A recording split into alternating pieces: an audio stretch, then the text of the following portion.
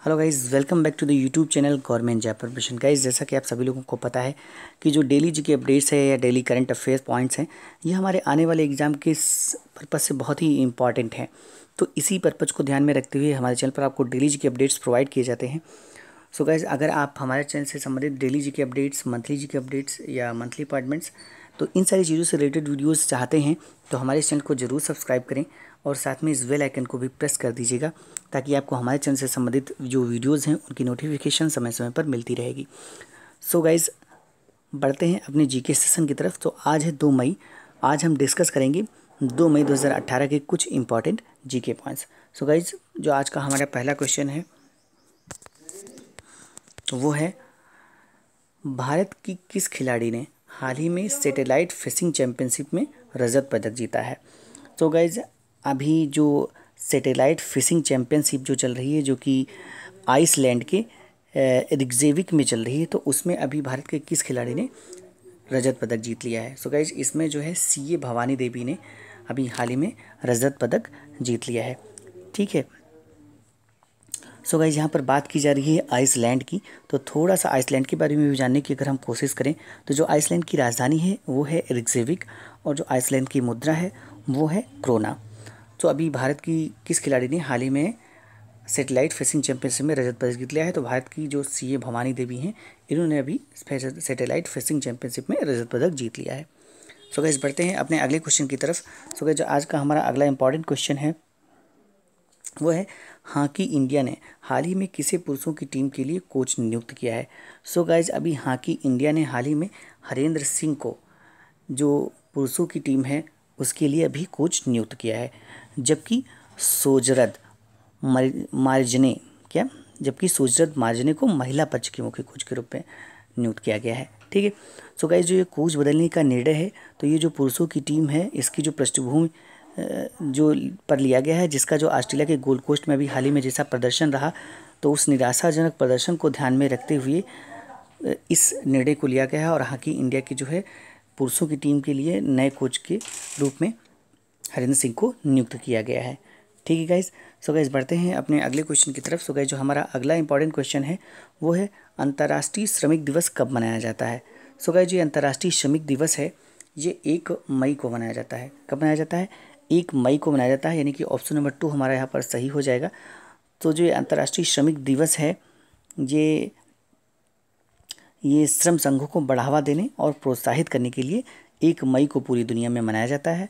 और गए जो इस बार का इसका थीम है, यानी कि इस बार का जो इसका विषय है मनाया जाने का तो वो है uniting workers for social and economic advancement uniting workers for social and economic advancement ठीक है गाइस सो गाइस जो अठारह में इस दिवस पर संयुक्त राज्य अमेरिका में श्रमिक संघों ने हड़ताल की और मांग की कि श्रमिकों को दिन में आठ घंटे से अधिक समय तक काम करने के लिए मजबूर नहीं किया जाना चाहिए।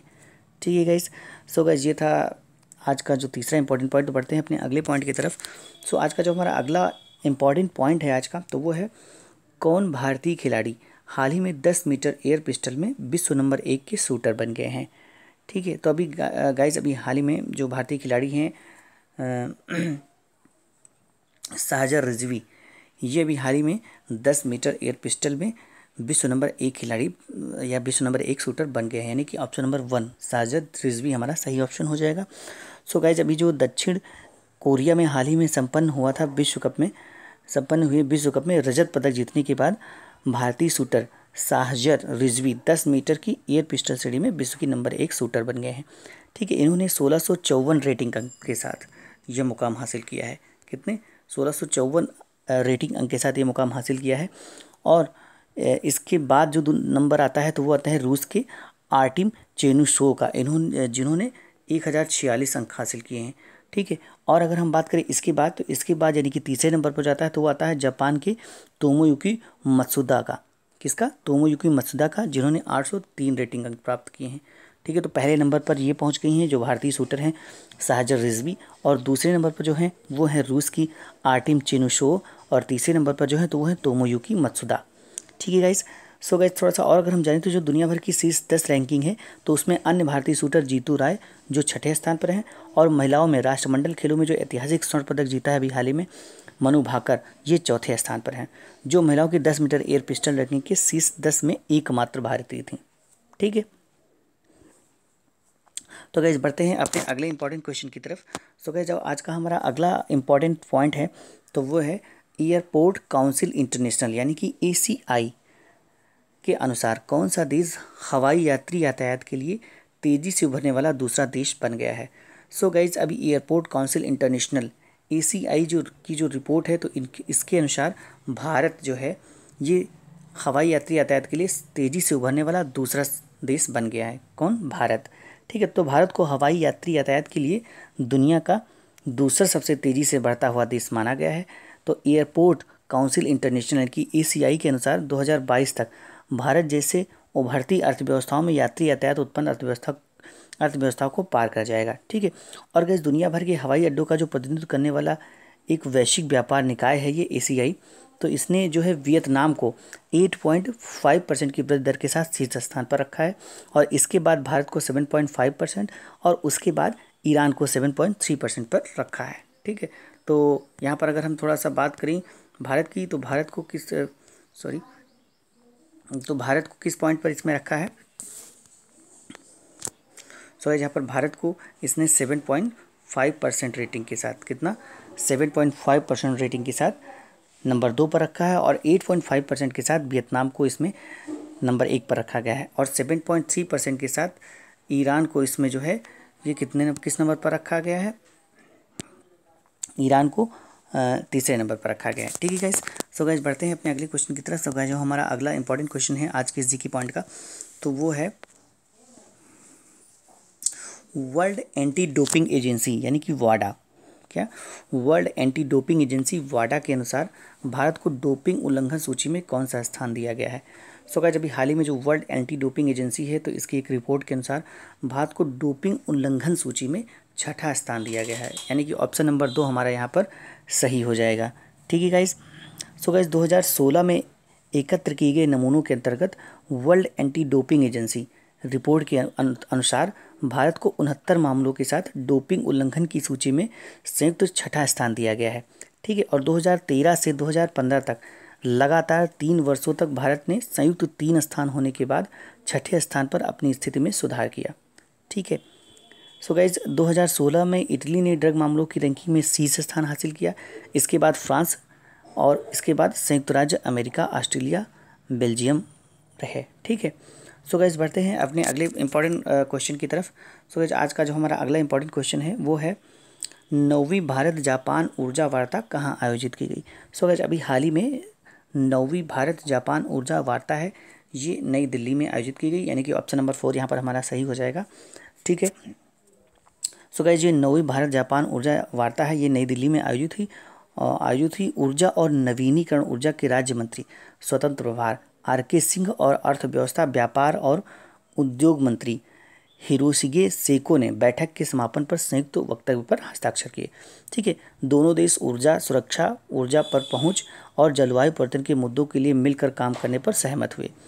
वे इलेक्ट्रॉनिक वाहनों पर चर्चा शुरू करने और अच्छी तरह से काम कर रहे ऊर्जा बाजारों को बढ़ावा देने के लिए मिलकर काम करने के लिए प्रतिबद्ध हुई। ठीक है सो गई यहाँ पर बात की जा रही है जापान की। तो जो जापान की राजधानी है, वो है टोक्यो। जो जापान की जो मुद्रा है, वो है येन। और जो जापान के इसमें प्रेजेंट प्रधानमंत्री हैं, वो हैं सिंजो अबे ठीक है गाइज़ तो बढ़ते हैं अपने आज के जी सेशन के लास्ट इंपॉर्टेंट पॉइंट की तरफ़। सो गाइज़ आज का जो हमारा अंतिम इंपॉर्टेंट पॉइंट है, वो है स्वच्छ भारत मिशन द्वारा हाल ही में गोवर्धन योजना का। गोवर्धन योजना का शुभारंभ किस राज्य में किया गया? ठीक है तो जो केंद्रीय पेयजल एवं स्वास्थ्य मंत्री सुश्री उमा भारती हैं, ने राष्ट्रीय डेयरी रिसर्च इंस्टीट्यूट, यानी कि एनडीआरआई, राष्ट्रीय dairy research ND, institute, NDRI, ठीक है, एनडीआरआई ऑडिटोरियम करनाल, हरियाणा में, यानी कि यहाँ पर ऑप्शन नंबर दो हमारा सही हो जाएगा, हरियाणा में, और हरियाणा में कहाँ पर?